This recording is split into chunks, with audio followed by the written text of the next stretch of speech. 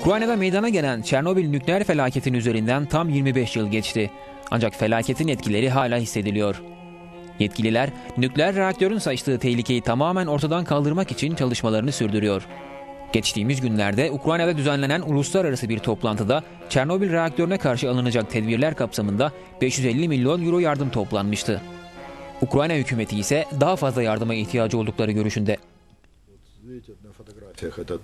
Bu fotoğrafta gördüğünüz gibi reaktör açık durumda. Reaktörün hareket halinde olduğunu anladım. Çünkü doğaya yüksek dozda radyoaktif madde sızıyordu. Bu arada buraya 2 kilometre uzaklıkta olan Pripyat kentinde çocuklarım ve ailem yaşıyor.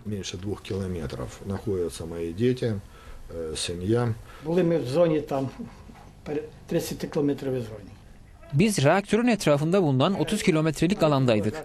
Yaz çok sıcaktı. Havada çok tuzluydu. Orada sadece 8 gün kaldım.